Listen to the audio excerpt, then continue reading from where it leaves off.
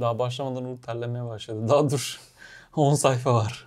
Evet, Yüce Yaradan Mevlam nasip etti. Sistem Savaşları 16 ile bugün beraber olacağız. Biliyorum çok uzun zaman oldu. Yazanlar çok fazla oldu. Ben de elimden geldiği kadar hem iş yoluyla hem de yazmış olduğum bu şu anlık belki inanmazlar ama tam 10 sayfa tekst var arkadaşlar. 10 sayfa görünüyor mu Uğur? 10 sayfa yazdım. Yani kısa bir süre değil gerçekten. Bunu şimdi beraber bütün arkadaşlarımızın evini ziyaret ederek başlamış olacağız. Arkanıza yaslanın, çekirdek çayınız varsa, yemeğiniz varsa Sistem Savaşları 16 başlıyor. Intronun hemen ardından size bir bilgi vereyim. PC Hocası'nın yeni projesi Tisbro.com biliyorsunuz yayında. Tisbro.com neydi? Orada PC Hocası'nın kendi ürettirmiş olduğu tişörtlerin satışını yapıyoruz arkadaşlar. Yani artık bilgisayar sektörüyle alakalı klavyeler olur, ekran kartları olur, aklınıza gelecek bütün teknoloji sektörüyle alakalı içerik üreterek tişörtlerimize bunları yansıtmaya çalışıyoruz. Mesela şu anda üzerinde görünüyor herhalde Uğur. Keep Cool GPU Play isminde bir tişörtümüz var ekran kartı temsili olarak. Bizim gibi donanım manyakları varsa Tisbro.com'a sizi bekliyoruz arkadaşlar. Orada farklı farklı tasarımlarımız var. Tişörtlerimiz yayında. Aşağıdaki açıklama kısmından linki incelerseniz sevinirim. Bu arada fiyatlar da bence şu anki dolar kuru ve piyasaya göre bayağı fiyat performans oldu. O tarafı da ayrıca değerlendireceğinizi düşünüyorum. Kumaş kalitesi konusunda da bizi biliyorsunuz. Biz kalite anlamında ödün vermeden içerik üretmeye çalışan insanlarız. O yüzden tişörtün kumaşı konusunda da sitedeki detaylarını incelerseniz çok sevinirim. Son bir dipnot daha paylaşayım. Tisbro.com'un Instagram sayfasında da haftalık olarak yeni tişörtlerimiz ürünlerimizin tasarımları yayınlanacak. Belki bunlar mesela dediniz ki ya bu benim çok hoşuma gitmedi ben farklı bir tasarım arıyorum derseniz oradaki yeni tasarımları inceleyerek sitemizden bakabilirsiniz. Herkese hayırlı olsun. Biz devam. Şimdi İstanbul'dan kalkıyoruz.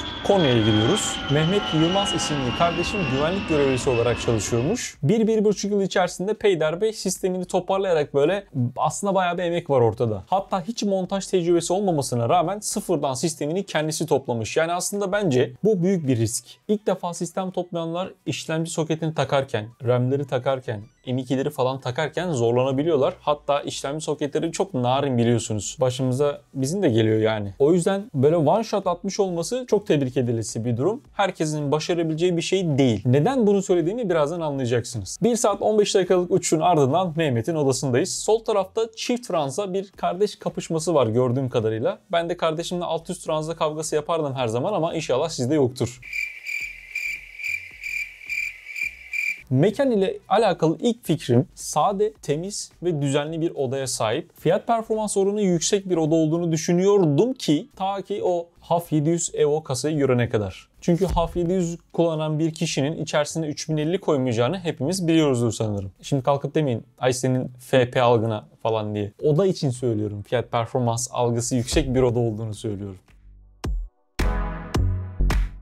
Sistemi çalıştırdığınızda odadaki RGB efektler kendisini göstermeye başlıyor ve masanın altındaki Hue Light efektler ışıklandırmalar epey bir katkı sağladığını söyleyebilirim. Masa ile birlikte oda çok büyük olmasa da halı dikkatimi çekti. Deniz ve kumsal birleşimi gibi odaya ayrı bir hava kattığını söyleyebilirim. Sadece şu sol taraftaki bisiklet var ya o birazcık böyle rahatsız etti beni. Yani orada olmaması lazım. Kasa az önce söylediğim Cooler Master'ın HAF 700 Evo modeli. Boş hali 24.5 kilogram. Belki aramızda o kasanın ağırlığına eşit miktarda arkadaşlarımız, kardeşlerimiz olabilir. Devasa bir kasa. Bu söylediğim ağırlık ise boş hali. İçerisini doldurduğunuz zaman rahatlıkla 35 kilolara kadar yaklaşabilirsiniz. Ama samimi söylüyorum yanlış yanlış doğruya doğru diyeceksek HAF 700 modeli Cooler Master'ın en tepe noktalarındaki kasadan bir tanesi olduğu için seviyorum. Çünkü mühendisliği güzel hazırlanmış. Kasada ne eksik diye baktığınız zaman o eksiği kolay kolay bulamıyorsunuz. Sadece çok hantal. Masanın üzerine koydun mu abi hareket ettirmeyeceksin. Sistemi göz attığımda 3 fanlı ROG ekran kartının bile bu kasanın içerisinde cücük gibi kaldığını görebilirsiniz. Bu sağ taraftaki boşluk var ya oraya bir tane daha çift fanlı bir ekran kartı rahatlıkla sığabilir. İçerisinde kullandığı ekran kartı ise ROG'un EVA serisi. Özel bir üretim ve her zaman çıkan ekran kartı modellerinden bir tanesi değil. Tercihlerinin böyle fantazisel olduğunu düşünüyorum Mehmet. Şu anki dolar kuruna baktığın zaman şahsi görüşüm iyi ki de almışım diyorsundur. Bence iyi ki de almışsın. Sistemin içerisindeki bileşenlere ise tek lafım yok. Zamanın en üst seviye neredeyse donanım parçalarını seçerek bir araya getirilmiş. Sadece çok güncel parçalar değil. RTX 4000 serisi çıktı biliyorsunuz. Yani böyle önceki nesil kartlar hafiften eskimeye başladı. Ama bu sistem seni şu anda 3-4 yıl rahatlıkla sesini çıkartmadan götürebilecek potansiyelde. Monitör 4K olmasına karşın küçük gibi duruyor ama kasa büyük olduğundan dolayı temsili görüntüsü birazcık zayıf kalmış. Seçim ise bence çok doğru. Bu monitörde HDR 600 ve IPS panel var. Sol tarafta kulaklık standı çok tatlı. Yurt dışında 476 TL artı kargo ücreti var. Dikkatinizi çektiyse bence verilebilir. Güzel ürün tavsiye ederim. Her yerden RGB fışkırırken aslında duvarın üstüne bir poligon aydınlatma bence çok tatlı olabilirdi. Yer olarak müsait bir alanımız var çünkü. Bak ben mesela ekledim 10 numara oldu. Ekipman tarafında da ciddi bir yatırım var. Klavye ROG Claymore 2, mouse Razer Basilisk V3, kulaklık olarak da Razer Black Shark V2 kullanıyor. Koltuğu görünce ise şunu sordum kendi kendime. Merak ettim ve internetten araştırdım. 6299 lira fiyatı var. Açıkçası X Prime serisi marka koltukları hiç daha önce kullanmadığımdan dolayı rahat mıdır? Sıcak havalarda sizi böyle terletiyor mudur? Kışta pişik yapıyor mudur? Gibi bir soru işaretiyle alakalı soru cevaplayamıyorum. O yüzden senden ricam bu koltukla alakalı performansını yorumlara yazar yazarsan merak eden arkadaşlar da mutlaka olacaktır. Kablolama için seni tebrik ederim. Canı gönülden söylüyorum. Keşke herkes böyle birazcık vakit ayırıp kablolamasını bir kere yapsa abi sonra bıraksa. Arka taraftaki kablo toplayıcılar gerçekten büyük iş görürken masanın altı tertemiz abi. Sadece şu kablo masanın arkasına sabitlense çok daha güzel bir görüntü olurdu ama onu da ben şimdilik oradan kaldırıyorum. Sana zahmet müsait bir zaman onu yok edersen çok daha güzel bir görüntü olacak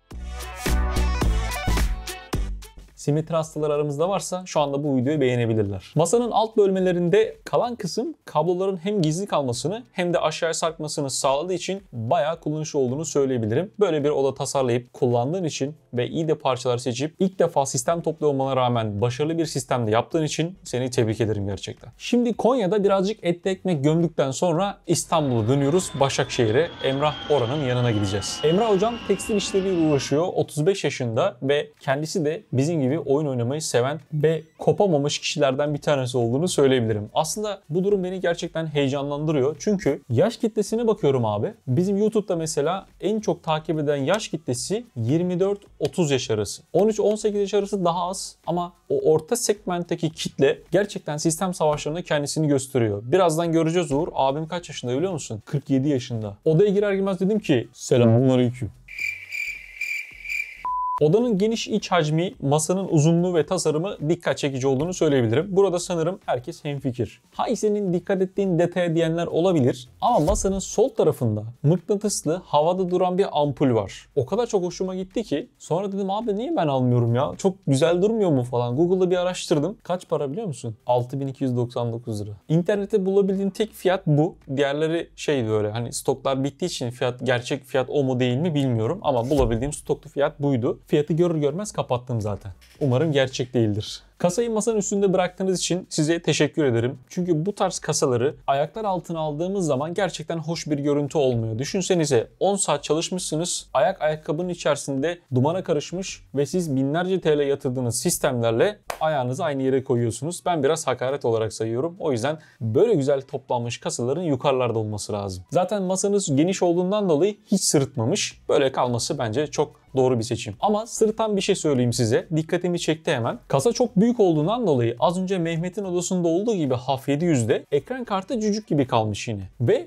yani ekran kartı ROG serisi. Şeyde değil böyle iki fanlı tek fanlı bir kart da değil. Büyükçe zaten bir kart. Yan tarafa bir tane daha ekran kartı rahatlıkla sığdırabiliriz. İçerisindeki bileşenler zamanın en baba modellerinden sayılabilir. Ancak RTX 2080 Ti'nin 3900X'in ufaktan güncelleme vakitleri gelmiş hatta ufaktan da değil geçiyor bile. Şahsi görüşüm eğer bütçenizi biriktirebilirseniz bir RTX 4070 Ti artı 7600X işlemcisi buraya çok güzel oturacaktır. İkinci dikkat ettiğim kısım ise toplamada herhangi bir bir aksaklık var mı diye baktım. Açıkçası göremedim. Gayet her şey profesyonel, neyin ne olması gerektiği gibi doğru seçilmiş. Masanın üzerindeki hoparlörler Kanto U2. Ses kalitesi samimi söylüyorum çok temiz ve mükemmeldir. Ama fiyatı da öyle. 12.000 TL'cik.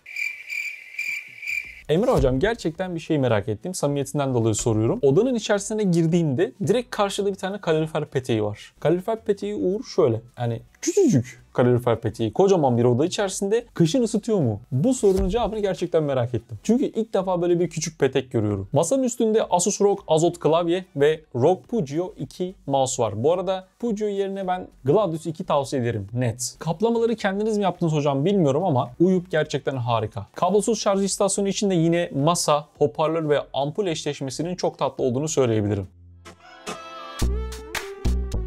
Sağ taraftaki basket potası kullanılmıyor diye düşünüyorum. Böyle birazcık arada kalmış. Hemen aşağıdaki koltuk ise zaten tek kişilik oturma bölümü iptal olmuş. Masayla birleşik durduğundan dolayı. Kablolamanız ise açıkçası başarılı. Bu kadar kablo bir aradayken hepsini böyle tek tek uğraşıp ehlileştirip ve gizlemek açısı çok kolay bir iş değil. Ama dediğim gibi bunları bir kere yapıp zaman ayırıp sonradan uğraşmamak en mantıklısı. O yüzden hem üstte hem de alt kısımda ciddi bir işçilik var. Ayrıca bir şey daha dikkat ettim. Masa yukarı aşağı hareket edilebiliyor. Hani bu pandemi döneminde çok popüler oldu ya ayakta çalışanlar, oturanlar falan. Şimdi rotayı İstanbul'dan Artvin'e çeviriyoruz. Şey gibi oldu bu haber şey gibi oldu. Ha, arkadaşlar şimdi İstanbul'dan Artvin'e çeviriyoruz. Kameramanımız Uğur bize detaylar anlatacak. E-ticaret işiyle uğraşan Serkan aynı zamanda oyun ve video amaçlı bir setup kurmuş. Sanırım bayağı bir RGB seviyoruz. Bayağıdan kastım bayağı bir RGB. Masanın arka planı, lamba, kasanın içi, klavye, kulaklık standı, hoparlörler, mouse derken ortam bayağı bir hareketli. Benimki de soru ha şey diyor. RGB seviyoruz galiba. Hmm, RGB seviyoruz. Gerçekten mi? Yalnız kendi kendimi de bozuyor olmam da yani. Çok fazla metin yazmaktan oluyor bunlar.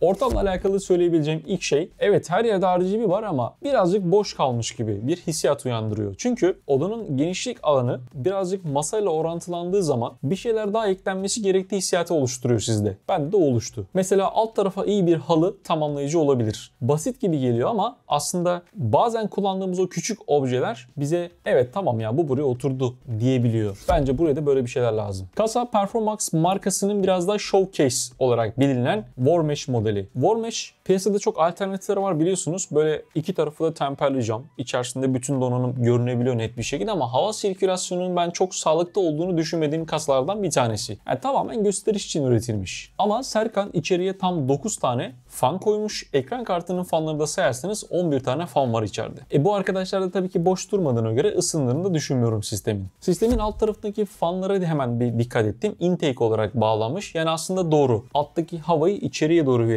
Ekran kartı bu sayede alttaki fanların havasıyla beraber soğumada desteklenmiş oluyor. Zaten biliyorsunuz ısınan hava yükseldiği için fanların alttan da yukarıya üflemesi her zaman doğru olandır. Sağdaki ve üstteki fanlar da radyatörün olduğu bölümdeki fanlar da yine doğru şekilde kurgulanmış. Oradaki fanlar da içeriden dışarıya doğru hava sirkülasyonu sağlamaya çalışıyor. Sistemde birazcık acil olduğunu düşündüğüm değişmesi gereken ekran kartı var. Çünkü işlemcinin abi Ryzen 5800X. Ekran kartı nedir Uğur? Tahmin RX 580 var sistemde. Uğur yo böyle yaptılar. Ve işin garip tarafı 64 GB RAM var. B550 anakart kullanıyoruz. Yani acilen o ekran kartının oradan sökülüp farklı bir ekran kartının takılması gerektiğini düşünüyorum. Tabii ki bunlar maddi durumlar. O yüzden maddi durumunu bilmediğimden dolayı ben olsam 64 GB RAM koymak yerine ilk önce ekran kartını yükseltmekten başlardım. Ama şimdi adam diyecek ki bize kardeşim ben oyun oynamıyorum çok fazla belki. Render yapıyorum işlemci ağırlıklı. O yüzden RAM'im 64 işlemcim 5800X derse biz burada ama tavsiyem AMD serisi ekran kartı seviyorsak bir 7900X de oraya yakışır. Monitör Samsung'un 24 inç Full HD veya panel 144 Hz ve 4 ms modeli. Veya panel çok tavsiye etmiyorum desem doğru olur çünkü önceliğim her zaman IPS. O da renk kalitesinden dolayı. O yüzden ben olsam bu ikincil tercihim olurdu. Klavye mouse tarafında sistem kadar cömert değiliz gördüğüm kadarıyla. Sistemde epey bir yatırım var. Zira klavye olarak Rampage KBR97 Red Switch, mouse olarak da Rampage SMX R47 model kullanıyoruz. Monitörün yanındaki hemen kulaklık tutacağı da Rampage'in RMH77 modeli. RGB aydınlatmalı böyle güzel. Masanın üzerine bir şıklık katabilecek model ama fiyatının birazcık yüksek olduğunu düşünüyorum. 579 TL bugünkü kurla beraber piyasa satış fiyatı var. Yani hoşunuza gittiyse bakabilirsiniz. Tartışılır. Masa özel olarak yapılmış. Dikkatimi çekti başta. Hemen hemen bir benzeri bizim ofisimizde var. Eğer full cevizden yapıldıysa o masayı yani kolay kolay hiçbir şekilde hasar alacağını düşünmüyorum. Hatta bunun için size yemin edebilirim ama kanıtlayamam. O tarzda bir sağlamlığı var ceviz masaları. Şimdi tekrar İstanbul'a dönüyoruz dostlar. Neden Emrah hocamın yanındayken yani İstanbul'dan İstanbul'a gidip oradan tekrar Artvin'e gitmediğiniz diyenler olabilir. Aramızda ince düşünenler olduğunu biliyorum. Sormayın. Korhan hocamın yanındayız. Az önce Uğur'a söylediğim Korhan hocam 47 yaşında ve bir otomobil bayisinde 26 yıldır satış departman sorumlusu olarak görev yapıyor. Şimdi odaya girer girmez işler birazcık karıştı. Korhan hocamın Allah bağışlasın iki tane evladı var. Ben şey zannettim. İki setup var odada. Bir tanesi bir evladının diğeri de bir evladının sistemi gibi düşündüm ama Korhan hocam bildiğin hardcore oyun oynuyor abi. Bir, bir bilgisayarda oynuyor, bir bilgisayarda yayın yapıyor. Sistem falan böyle havada çarpışmalar. Yani şaşkın durumdayım. Yani yanlış anlaşılmasın Korhan hocam lütfen. Hani sizin yaşınızda bu tarz seviyede bir oyun oynayan kaç kişi var derseniz etrafımda tanıdığım kimse yok. Var mı senin tanıdığın? Yani görünen o ki ekipte var. Helal olsun demekten başka bir yorum yapamayacağım. Şu videodaki sahnelerde özellikle işi biraz da ileri taşıyor. Evet motorla da bir etseydim buraya inen birini de. Hadi bana atlayamıyorum herhalde buradan. Odada iki tane setup var. Hem solda hem de arka tarafta. Sanırım tekini yayın ve oyun, diğerini iş amaçlı kullandığınızı düşünüyorum. Aslında her iki sistemin de donanımları epey yüksek. Bazen şey oluyor ya bir tanesine çok yatırım yaparsınız diğeri aşağıda kalır. Hayır Korhan hocam ikisine de iyi bir yatırım yaparak sistemleri güçlü hale getirmiş. Parçalar da bilinçli ve doğru seçilmiş. Sadece beyaz kasadaki sistemde B550 mini ITX anakart kullanılmış. Onun yerine bir ATX formundaki anakart kullanmak her zaman daha avantajlı olacaktır. Sebebi şu. Şimdi mini ITX anakart anakartlarda 8 artı 2 faz var. Faz oranlarımız düşük olduğundan dolayı siz bu anakartlara çok fazla yüklenemezsiniz. O sıcaklık baremleri bu anakartlarda birazcık daha düşük kalıyor. O yüzden ATX formundaki bir ROG anakart aldığınız zaman 20 artı 2 fazlara kadar çıkmış oluyorsunuz. Sadece bu sistemde bu anakartı oraya yakıştıramadım. Tüm bunların dışında konfigler çok iyi. O da çift setup olmasına karşın dar olduğunu düşünmüyorum. Gayet geniş bir kullanım alanı var. 32 yaşındayım. Şöyle istediğim gibi dizayn edebileceğim bir odam henüz olmadı. O yüzden Korhan hocamı hiç kıskanmadım. Koltuk DX Razer'ın Air Pro versiyonu. Arka tarafında bir omurilik ayrıntısı inanılmaz hoşuma gitti. Orada da bir RGB efekt var. Yani dedim ki koltuk gerçekten yapılmış ya. Öyle bir hissiyat uyandırdı bende. Rahat ve kullanışlı görünüyor. Merak edip de fiyatına bir baktım. Sonra hemen kapattım. Beyaz sistemdeki monitör Samsung'un 32 inç 2K veya panel olduğunu düşündüğüm bir model. Diğer sistemde ise 28 inç 1ms ve 4K varyantı var. Setup'ın yan tarafında da bir keyif köşesi olduğunu görüyoruz. Burada PlayStation 5 var, karşısında koltuk var. Böyle sistemden ayrılan vakitte veya yok ben bugün PlayStation oynayacağım dediğimiz zaman orada da bir şark köşesi kurulmuş. Düşünsene saat böyle gece 10 olmuş. Günlerden cuma. Ertesi gün iş yok. Mükemmel yani.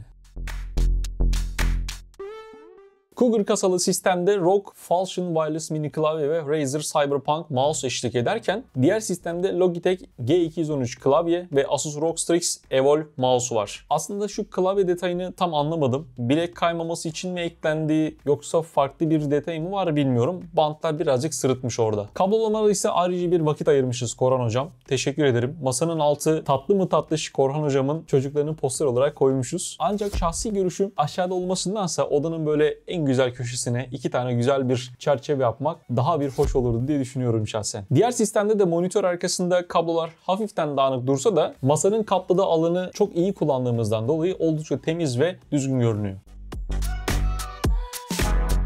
Odanın görselizasyonu, posterler, tablolar ve figürlerle beraber desteklenmiş. Ancak duvarın üst kısımlarında birazcık boş alanlar görüyorum. Orada da birazcık böyle eklemeler yapılabilirse daha hoş bir alan elde edilebilir. Mesela ben şöyle bir çalışma yaptım. Ve finalde SteelSeries Artist 9 ve Logitech G733 kulaklıkların tercih edildiğini görüyorum. G733'ün ses performansını çok beğenmesem de yani birazcık düşük kalıyor ama Artist 9'un iyi bir tercih olduğunu söyleyebilirim. Dostlar şimdi yolumuz Ankara'ya düşüyor. Ümit Civan kardeşimin yanına gideceğiz. Kendisi e-ticaret işleriyle uğraştığı gibi 28 yaşında ve yeni nişanlanmış aramıza hoş geldin. Evlenmeden önce böyle kendisi bir şeyler yapmak istemiş. Bu konuyla alakalı fikrimi videonun sonunda sizlere ayrıca paylaşacağım. Açıkçası odaya girer girmez bana bir daral geldi. Oda aslında büyük ancak setup'ın kurulduğu alan inanılmaz karmaşıklaştırılmış durumda. Hatta sandalyeden gördüğüm kadarıyla orası bir yemek masasıymış. Sonradan Ümit oraya çökmüş. O yemek masası iptal olmuş.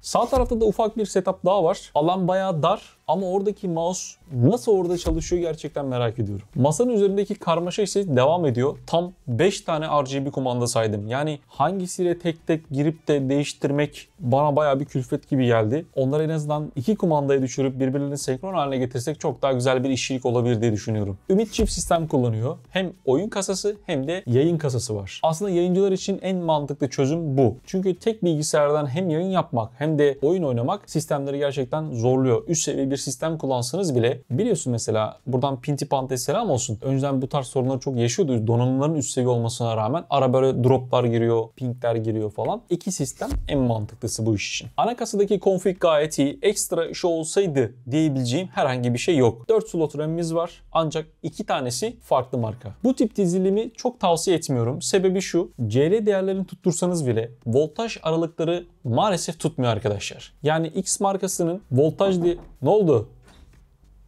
Ha giydin mi lan lan hakkını yedim ha. Bu anlatıma gitti tişörtü giymedi dedim. Göründüm arkadaşlar. İsmail'in eline şahit olduk şu anda hep beraber. Hakkını helal et. Etmeyeyim. Yani ne diyorduk? Bu tip bir dizilimi çok fazla tavsiye etmiyoruz. CL değerleri tutsa bile voltaj aralıkları farklı olduğundan dolayı ister istemez arkadaşlar sistemde RAMsel olarak bir karmaşıklık söz konusu ve gecikmelere sebebiyet verebiliyor. O yüzden tek marka aynı modüller kullanmak her zaman avantajlı. Ayrıca 5600X işlemcisi içinde 360 mm sıvı soğutma çok fazla. İlerleyen zamanlarda bir CPU yükseltmesi yaptığın zaman herhangi bir sıvı soğutma almana tabii ki gerek kalmayacak ama uzun yıllar bu işlemciyi kullanmayı düşünüyorsan 360 mm almaya gerek yoktu gerçekten. E şimdi bir yandan kasada büyük 240 da küçük kalırdı. O yüzden keşke işlemci biraz daha yüksek olsa diye düşündüm yani. Soldaki monitör 27 inç 1 ms 240 Hz Full HD çözünürlüğe sahip. Ancak Ümit bir sene içerisinde ışık sızması olduğunu söylemiş. Sağdaki monitör de yine 27 inç 165 Hz ve 1 ms 2K VA panele sahip. Bu monitörde de gariptir ışık sızması olduğunu söylemiş. İkisinde de bir sene içerisinde bunun olması bana biraz garip geldi. Çünkü aynı panel değil, aynı markalar değil ama yani kötü bir denk geliş olmuş. Şaşırdım açıkçası. Sağ tarafta sistemin sıcaklıklarını anlık takip edebileceğimiz bir custom panel yapılmış. Kişiselleştirmelerin çok güzel olduğunu söyleyebilirim. Ama bana birazcık büyük geldi. Yani ben şimdi mesela iki monitörü koydum. Küçük tarafta da anlık verileri takip ediyoruz ya. Ben şimdi sürekli oralara gözüm takıldığından dolayı oraya koymazdım sanırım ya. Kasamın bir kenarına ufak bir panel yapıp koymak daha mantıklı geliyor bana. Twitch yayıncıların olmazsa olmazlarından bir detay vardır bilirsiniz. İçecek deposu. Onu da aşağı tarafa konuşlandırmışız. Yani şu görüntü açısında düzeni oturtmak vallahi çok zor. O konuda seni tebrik ederim. Kendimi şey gibi hissettim. Uzun yol kaptanları var ya otobüs şoförleri böyle kabin içerisindeler falan. Tam öyle bir kabin var sende de yani. Genelde de şekerli içecekler tüketiyoruz. Gözden kaçmadı. Ana setup üzerinde HyperX ABS Padding Keycap adı verilen bence tasarımının hoş olduğu detaylar kullanılmış ama Game Power Saber RGB Blue Switch üzerinde. Mouse olarak da Logitech'in G300S versiyonu tercih edilmiş. Diğer yan taraftaki setupta ise TK96 wireless klavye, Asus ROG Gladius 2 mouse mevcut. Aslında naçizane görüşüm Gladius 2 G300S'e göre daha performanslı. Neden onu orada kullanmadığını bilmiyorum. Belki el alışkanlığından dolayı olabilir. Çift kulaklık kullanıyor Ümit. HyperX Cloud 2 Wireless iyidir. Arkada da SteelSeries'in Arctis 1'i var. Finalde bence tüm setup'ın elden geçmesi lazım. Eğer Allah nasip kısmet eder, evlendiğin zaman böyle bir ortamı unut. Samimi söylüyorum sana. Yenge sana diyecek ki bir tane bilgisayarını koy, kenarda olsun. Böyle dağılma etrafa. Kendine küçük bir yer ayır. Yok öyle. Masanın üzerine konuşturayım. İşte istediğim yere koyayım. Bitti. Arada iki günde bir de bir oyunlara girer oynarsın. Yok öyle ikilere kadar falan oturup oyun oynamak. Hepsi zamanla oturur bak. Bu dediğimi yaz. Şimdi diyecekler ne dertliymiş bu da. Şimdi rota Siirt dostlar.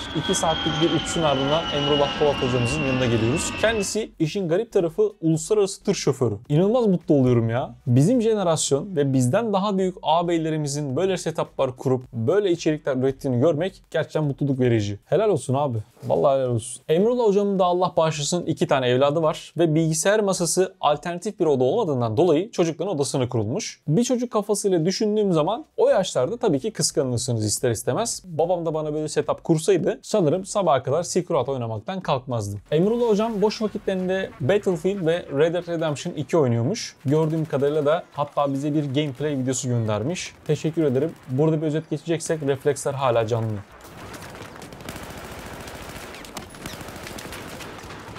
Setup mütevazi bir alanda onu söyleyebilirim. Belki sağ tarafa bir L masa yapılarak uzatabilir miydi diye düşündüm ama oda alanı ve yatak kısmı birazcık bu alanı daraltacaktır. O yüzden gerek yok. Sistemdeki masa ise bir nevi el yapımı. Emrullah hocam kendisi bayağı bir uğraşmış. Sadece kaynak içlerinden destek alarak böyle bir masa ortaya çıkartmış. Mantıklı abi çünkü biz de kendi masamızı kendimiz yaptırmıştık. Full cevizden az önce söylemiştim. Öyle yaptığınız zaman hem daha uygun fiyata geliyor hem de istediğiniz gibi bir masayı ortaya çıkartmış oluyorsunuz. Kasa olarak Corsair 5000X görüyoruz. Hava sirkülasyonu güzeldir ancak biraz hantal büyüklüğünden dolayı. Üst kısımda ise sıvı soğutma montajı doğru yapılmış. Sistem bileşenleri ise zamanın üst seviye versiyonları. Belki seneye ufaktan bir güncelleme yapılabilir.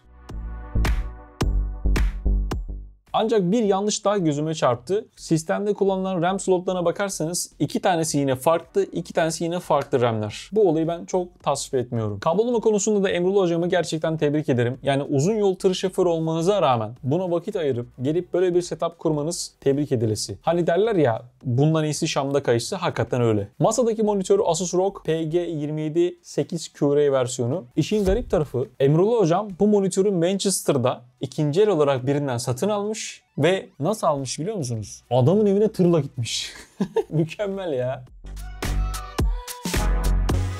Sol tarafta ise Logitech G29 direksiyon seti var. Onu da İtalya'dan getirdiği ve 180 Euro'ya satın aldığını söylüyor. Türkiye fiyatına baktığım zaman şu anda 9K civarı bir fiyatlandırması var. Hemen hemen yarı fiyatına geldiğini söyleyebilirim. Masada Aquatek marka hoparlör var. RGB aydınlatmalarda tablo ve masanın arkasında senkron edilmiş durumda. Kulak üstü kulaklık çok sevmediğinden dolayı böyle bir hoparlör kullanma ihtiyacınızı yazmışsınız. Ancak Battlefield gibi oyunlarda ses kasmanız gerektiği için bunu nasıl yapıyorsunuz bilmiyorum. Hoparlörden ses kasmak epey bir zor olacaktır. Ekipman tarafında Razer Black Widow V3 klavye ve Razer Datader mouse görüyorum. Tercihler gayet iyi. Finalde mütevazi bir odanızın olduğunu söyleyebilirim hocam. Donanım ise zamanın en iyi parçalarından. Ancak ufaktan da bir güncelleme zamanı yaklaşmıyor değil. Kablolama konusunda da ise dediğim gibi çok profesyonel çalışmışsınız. Tebrik ederim. Ve geldik yine döndük dolaştık İstanbul topraklarımıza. Dönüş vakti. Doruk Topkan kardeşimizin yanına gidiyoruz. Olaylara bu ışıltılı hayatı kendisi seçmiş diyerek başlama hissiyatı duydum. Sade ve tatlı bir ortam var. Sol tarafta ışık duvara bence birazcık fazla vurmuş. Monitör ve laptop ikilemi ise mantık olarak çok güzel. Duvara değil masaya vesaire kullanmak bana çok mantıklı geliyor. Çünkü bu sayede monitörünüzün ayaklarıyla uğraşmıyorsunuz. Daha temiz bir görüntü oluyor. Yani o VES ayaklar baya bir iş kurtarıyor. Duvardaki aksesuar destek aparatlı. Çok mantıklı. Raflarla destekleyince güzel bir senkron olduğunu düşünüyorum. Dışarıdan bakınca da bana iyi hissettiriyor yani. Az önceki laptop görselinden sonra monitörü bu şekilde ayırmak da mükemmel bir çözüm. Hem masada alan kazandırıyor hem de istediğin gibi monitörü yönlendirebiliyorsun. Işıklandırmalar ise hepsi senkron. Şunu bir izleyin.